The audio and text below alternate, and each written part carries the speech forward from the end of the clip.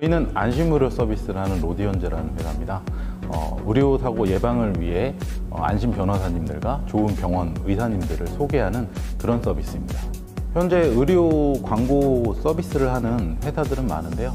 어, 의료 서비스에 대한 정보만 제공하고 함께 가격만 제공을 하는 그런 서비스들이 많습니다. 근데 저희는 그런 의료 서비스의 제공뿐만이 아니라 실질적으로 안전하게 수술하실 수 있는 병원인지 병원에 대한 정보도 함께 어, 서비스 해드리는 그런 회사입니다. 저희 안심의료 서비스의 안심병원은 저희가 공약하는 네 가지 조건이 있습니다. 첫째, CCTV, 수술실에 CCTV가 있어야 하고 두 번째, 병원 의사 선생님이 전문의 의셔야 됩니다.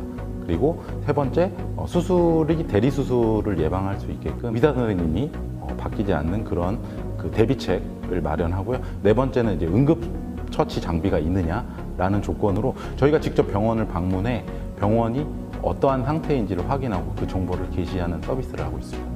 루디언즈 안심의료 서비스는 대한민국의 의료사고 예방을 내세우는 첫 번째 회사이고요. 저희는 고객들이 어, 의료사고가 발생하기 전부터 함께 의료 사고에 대응을 할 수 있는 준비를 저희 안심 변호사님들과 함께 준비를 해서 문제가 발생하셨을 하셨을 때 즉각적으로 저희와 함께 해결해 나가는 그런 서비스. 로디언즈 홈페이지에 들어오시면요. 그 안심으로 서비스 신청을 하실 수 있고요.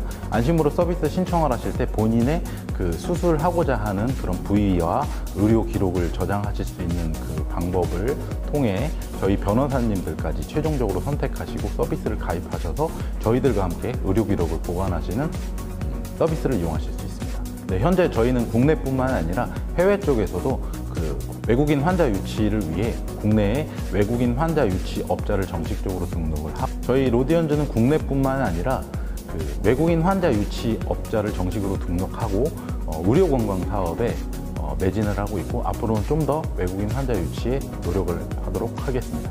성형 분야를 주로 시작을 했는데요.